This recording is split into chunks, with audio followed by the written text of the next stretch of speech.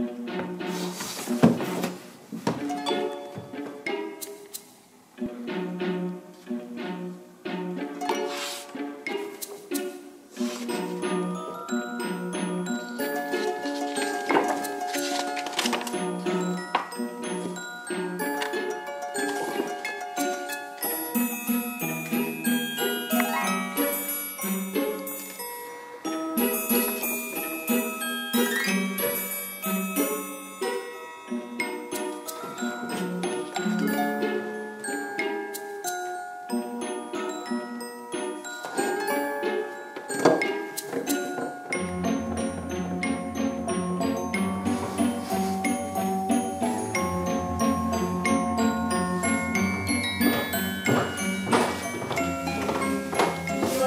much too predictable, Remus.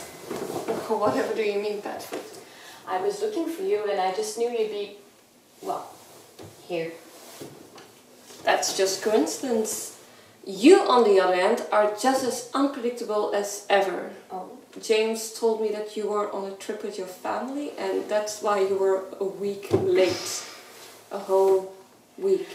It's not like they gave me any choice in the matter. Yeah, okay, you could have sent me an owl, I wanted to. but You know how they get. what? Your hormones? My parents. Still, I. I missed you. It's good to have you back. Oh, you just keep getting stronger. I know! Puberty is an amazing thing if you get past a high pitched voice. And Well, I never did. that's true. How's the beard growing? Well, in a very specific lighting, it kind of has this sheen here which looks like a porn stash. Talking about indecencies. Has McGonagall seen you yet? No, she hasn't. I came straight here. what the hell are you wearing? It's a muggle shirt. Where did you buy it? Italy. We passed there on our way back. Uh, and your parents approved. Well. McGonagall's really not going to like this.